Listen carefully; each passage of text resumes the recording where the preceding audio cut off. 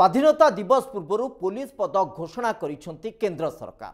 କେନ୍ଦ୍ର ସରକାରଙ୍କ ଘୋଷଣା ଅନୁଯାୟୀ ଓଡ଼ିଶାର ଚଉଦ ଜଣ ପୋଲିସକୁ ମିଳିବ ଏହି ମେଡାଲ। ଉଲ୍ଲେଖନୀୟ ସେବା ପାଇଁ ଦୁଇ ଜଣଙ୍କୁ ରାଷ୍ଟ୍ରପତି ମେଡାଲ ଏବଂ ବାର ଜଣ ପୋଲିସ କର୍ମଚାରୀଙ୍କୁ ଉତ୍କୃଷ୍ଟ ସେବା ପଦକ ପ୍ରଦାନ କରାଯିବ। ଚଉସ୍ତରୀତମ ସ୍ୱାଧୀନତା ଦିବସରେ ସମ୍ମାନିତ ହେବେ ଓଡ଼ିଶାର ଚଉଦ ଜଣ ପୋଲିସ କର୍ମଚାରୀ।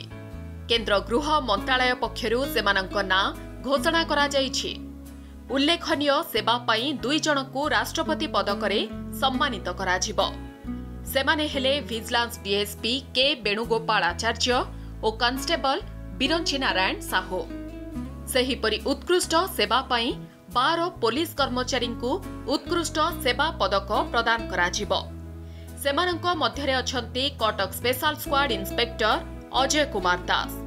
ଏହା ପୂର୍ବରୁ ଅଜୟ ଦୁଇ ହଜାର ଷୋହଳ ମସିହାରେ ରାଜ୍ୟପାଳ ପୁରସ୍କାର ପାଇଥିଲେ ଦୁଇ ହଜାର ସତର ଅଠର ପାଇଁ କମିଶନରେଟ୍ ପୋଲିସର ଶ୍ରେଷ୍ଠ ଇନ୍ସପେକ୍ଟର ଆୱାର୍ଡ ବି ମିଳିଥିଲା ତାଙ୍କୁ ବର୍ତ୍ତମାନ ଅଜୟ ସ୍ପେଶାଲ ସ୍କ୍ୱାଡ୍ ଇନ୍ସପେକ୍ଟର ଭାବେ କାମ କରୁଥିବା ବେଳେ ଧଳ ସାମନ୍ତ ବ୍ରଦର୍ସ ହତ୍ୟାକାଣ୍ଡ ଘଟଣାର ତଦନ୍ତକାରୀ ଅଧିକାରୀ ଭାବେ କାମ କରୁଛନ୍ତି ସେହିପରି ଭୁବନେଶ୍ୱର ୟୁପିଡିର ଅତିରିକ୍ତ ଡିସିପି ରାଜକିଶୋର ପାଇକରାୟଙ୍କୁ ମଧ୍ୟ ମିଳିବ ଉତ୍କୃଷ୍ଟ ସେବା ପଦକ।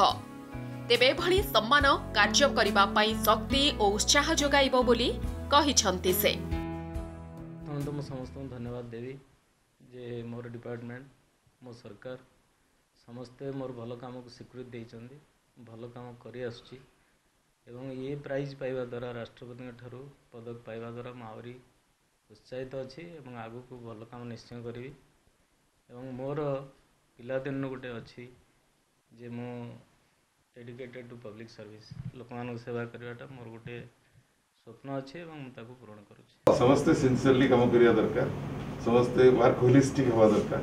ସୋ ଦ୍ୟାଟ୍ ଆମେ ବର୍ତ୍ତମାନ କ'ଣ କରୁଛୁ ସିନିୟର ହିସାବରେ ଅନ୍ୟମାନଙ୍କୁ ପ୍ରେରଣା ଦେଉଛୁ ଗାଇଡ଼ କରୁଛୁ ଯେ ସେକେଣ୍ଡ ପିଢ଼ିଟା କେମିତି ଭଲ ଅଫିସର ହେଇକି ବାହାରନ୍ତୁ।